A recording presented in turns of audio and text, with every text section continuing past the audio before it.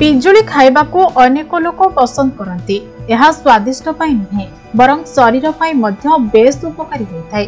କିନ୍ତୁ ଆପଣ ଜାଣନ୍ତି କି ପିଜୁଳି ଖାଇବା ଆମ ଶରୀର ପାଇଁ ଯେତିକି ଉପକାରୀ ହୋଇଥାଏ ପିଜୁଳି ଅପେକ୍ଷା ପିଜୁଳି ପତ୍ର ମଧ୍ୟ ଶରୀର ପାଇଁ ବେଶ ଉପକାରୀ ହୋଇଥାଏ।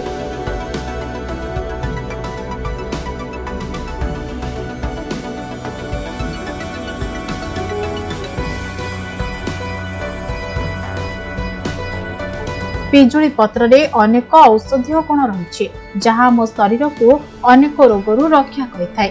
ବିଶେଷ କରି ମହିଳାଙ୍କ ପାଇଁ ଏହା ବେଶୀ ଲାଭଦାୟକ ହୋଇଥାଏ। ଏହା ମହିଳାମାନଙ୍କ ଋତୁସ୍ରାବ ସମୟରେ ହେଉଥିବା ଯନ୍ତ୍ରଣାରୁ ମୁକ୍ତି ଦେଇଥାଏ।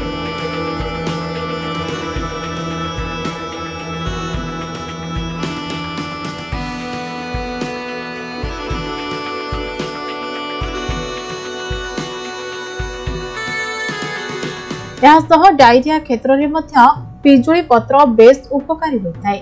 ଏବଂ ଝାଡ଼ା ହେଉଥିବା ସମୟରେ ଯଦି ଆପଣ ପିଜୁଳି ପତ୍ର ଖାଇଥାନ୍ତି ତେବେ ଏହା ଶୀଘ୍ର ଭଲ ହୋଇଯାଇଥାଏ। ଖାଲି ସେତିକି ନୁହେଁ ପିଜୁଳି ପତ୍ର ଅନ୍ତନଳୀରେ ଥିବା କ୍ଷତିକାରକ ମାଇକ୍ରୋବସକୁ ମାରିଥାଏ।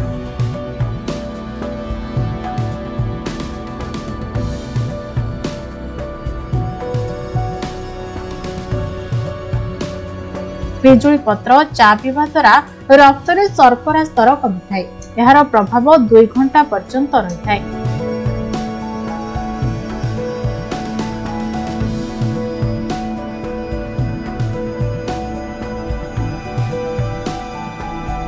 ପିଜୁଳି ଏପରି ଏକ ପତ୍ର ଯେଉଁଥିରେ ଭିଟାମିନ ସି ସହିତ ରୋଗ ପ୍ରତିରୋଧକ ଶକ୍ତି ଅନେକ ମାତ୍ରାରେ ରହିଥାଏ।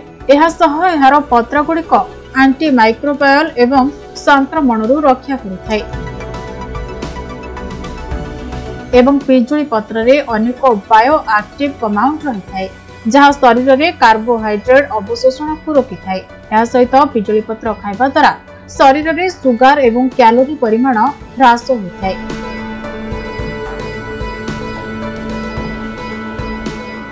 ଯାହା ଓଜନ ହ୍ରାସ କରିବାରେ ମଧ୍ୟ ଅନେକ ମାତ୍ରାରେ ସାହାଯ୍ୟ କରିଥାଏ। Bureau report summer life.